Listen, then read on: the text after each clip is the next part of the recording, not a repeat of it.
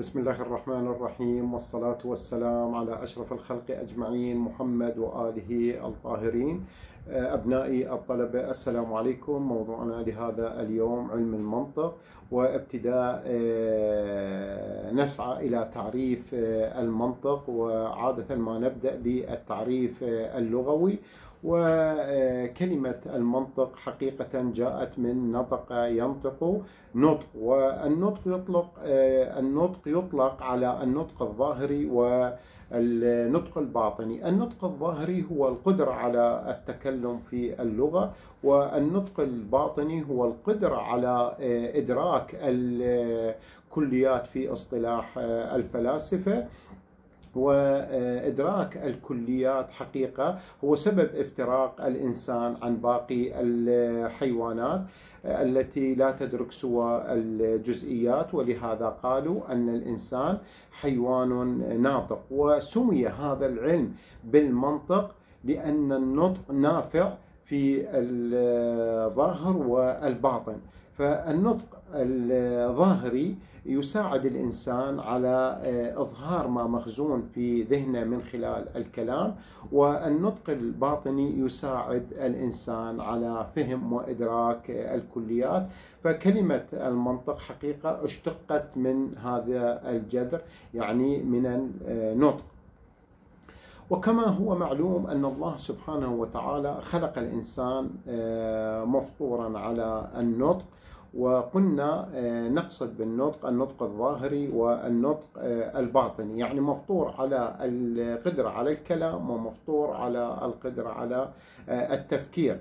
وبالنسبة إلى النطق الظاهري إن الله سبحانه وتعالى جعل له اللسان آلة ينطق بها. ومع ذلك فهو طالما يخطأ فيحتاج إلى ما يصلح وضعه في الكلام ليكون كلامه طبق اللغة التي يتعلمها من ناحية هيئة الألفاظ ومادتها فيحتاج إلى مدرب يعوده على ممارسة اللغة الصحيحة. وإلى قانون وقواعد آه، كلية يعني يحتاج إلى آه، دراسة ومعرفة النحو والصرف بشكل مضبوط حتى يعصم لسانه عن الخطأ في آه، النطق.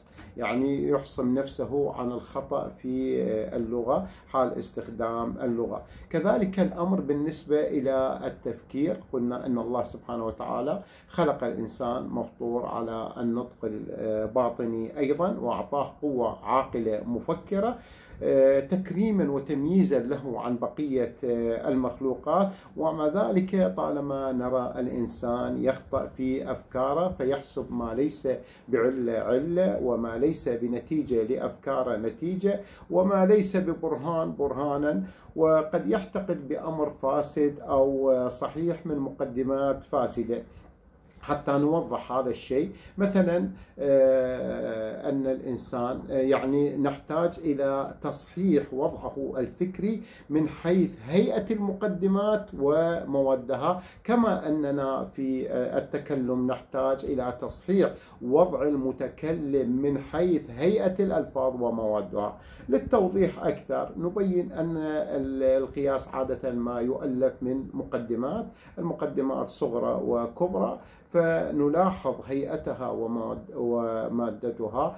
إن لم نخطأ بها أو لن نشتبه بها فنتائجنا تكون يقينية. فمثلا في قضية آه، قضية مؤلفة من صغرى وكبرى كل إنسان حيوان هذه الصغرى وكل حيوان نام آه، هذه الكبرى النتيجة تكون كل إنسان نام والنتيجة يقينية وصحيحة. ومضبوطة من حيث التفكير في مادتها وهيئتها. ولكن هناك مثلا قضية كل إنسان حيوان. قضية آه، هذه صغرى صحيحة ويعني من حيث المادة وكل حيوان آه، حجر هذه قضية كاذبة. الهيئة مضبوطة. كل إنسان حيوان وكل حيوان آه، حجر. فسنحصل على نتيجة كاذبة غير صحيحة أنه كل إنسان حجر. فإذا هنا حدث خطأ في مادة القضية الثانية وهي الكبرى. وهناك قضية يعني من حيث الهيئة تكون صحيحة ولكن آه، من حيث المادة تكون كاذبة وأحيانا تكون آه، من حيث الهيئة مثلا بعض الإنسان يعني من حيث الهيئة كاذبة تكون من حيث المادة صحيحة ولكن من حيث الهيئة تكون آه، غير صحيحة. بعض الإنسان حيوان وبعض الحيوان فرس. القضيتين من حيث المادة صحيحة ولكن من حيث الهيئة آه، غير صحيحة لأن لا يحصل آه، استنتاج عن جزئيتين. يعني آه، بعض الإنسان حيوان هذه الصغرى وبعض الحيوان فرس. النتيجة ستكون بعض الإنسان فرس هذه النتيجة غير صحيحة النتيجة خاطئة آه، مع آه، أن التفكير لم يخطأ في المادة ولكن الخطأ وين؟ في الهيئة. وقلنا أن الاستنتاج لا يصح عن جزئيتين. وتارة يكون الخطأ يعني خطأ التفكير في المادة والهيئة. مثلا بعض الإنسان حيوان. يعني هذه آه، مادة القضية الصغرى صحيحة ولكن مادة القضية الكبرى بعض الحيوان حجر. هذه قضية كاذبة قضية غير صحيحة. النتيجة تكون بعض الإنسان حجر. الاستنتاج أولا لا يحصل من جزئيتين بالإضافة أنه الخطأ في المادة يعني خطأ في الهيئة وخطأ في المادة. فإذا الإنسان فإذا الإنسان مثلما يحتاج إلى تصحيح في وضع الكلامي يعني يحتاج إلى آه، تعلم النحو والصرف بشكل صحيح حتى يكون كلامه وفقا للغة كذلك في تفكيره. يحتاج إلى قانون إلى آه، قواعد كلية حتى يكون تفكيره آه، صحيح ويكون نطقه الباطني يعني مضبوط وعلى هذا الأساس. فهو يحتاج إلى علم حتى يساعده في هذا آه، المسير. ولهذا قالوا أن المنطق آلة قانونية تحصم مراعاتها الذهن عن الخطأ في التفكير فهو يحتاج إلى علم المنطق إلى هذه الآلة القانونية عند مراعاتها أنه آه، سيعصم الذهن عن الخطأ في التفكير. أما آه، هناك من يقول أن هناك من يتعلم علم المنطق إلا أنه يخطأ فنقول له كذلك دارس النحو والصرف رغم دراسته ورغم الجهد الذي يبذله في تعلم النحو والصرف لكن نراه أيضا يخطأ في مواضع كثيرة.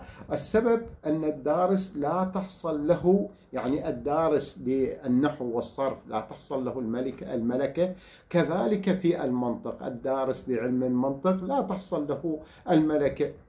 فإذا عندما لا تحصل له الملكة ولا يراعي قواعده عند الحاجة نراه يخطأ عند عند التطبيق. ولهذا كي يعصم يعني نفسه عن الخطأ في آه، الكلام يعني في النطق الظاهري ويعصم نفسه عن الخطأ في النطق الباطني لابد له من تحصيل الملكة والملكة تحصل من خلال التعلم وكثرة التمرين والممارسة فتحصل له يعني أمور بديهية وسريعة تنطبع في وجود في وجوده فتكون عنده سرعة البديهية في الكلام وسرعة البديهية في التفكير. يعني آه، نقول أنه قد حصلت له ملكة ذلك العلم كما في آه، في الفقه عند المراجع الذين يمتلكون ملكة الفقه فلا يحتاج إلى سجلات وإلى غيره حتى يراجع عند عندما يستفتي شخص ما. هو مباشرة يفتي لأنه حصل ملكة الفقه. يعني حصلت ملكة الفقه لديه ملكة الاجتهاد لديه. أصبح مجتهد وقادر على الاستنباط وبسرعة. بالإضافة إلى ذلك قلنا لكي يحصن يعني ذهنه عن الخطأ في التفكير ويحصن لسانه عن الخطأ في النطق لابد له من تحصيل ملكة آه، ذلك العلم ولابد له من مراعاة القواعد الفكرية عند الحاجة والتطبيق.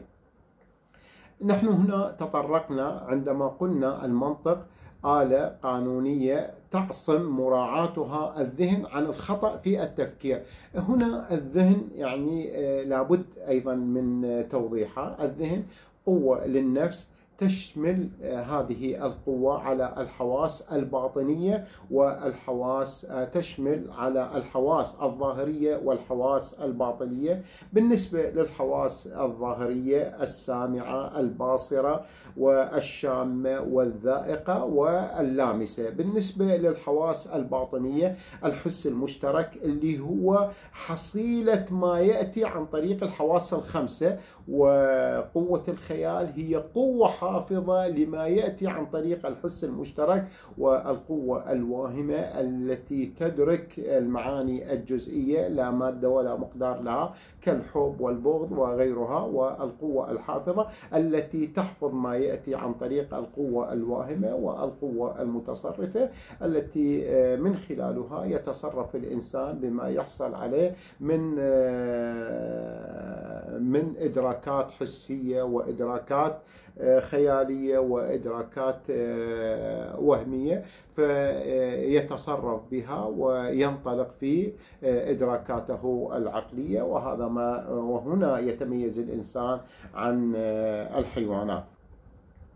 قلنا إنه آه، أيضا في التعريف أن المنطق آلة قانونية أي إنه من العلوم آه، الآلية. فغايته ليست معرفة آه، نفس مسائل العلم. بل يتكفل بتوضيح الطرق العامة الصحيحة التي يتوصل من خلالها الذهن إلى الحقائق المجهولة فهو ليس من العلوم الذاتية أو الأصلية التي تكون الغاية منها والمقصود بالذات معرفة نفس مسائل العلم كمثال يعني علم الفقه من العلوم الذاتية والأصيلة فهو علم آلي يستفاد منه لبقية العلم. فغاية علم المنطق هو تعليم القواعد الصحيحة للتفكير الصحيح حتى ينتقل الذهن إلى الأفكار الصحيحة في جميع العلوم.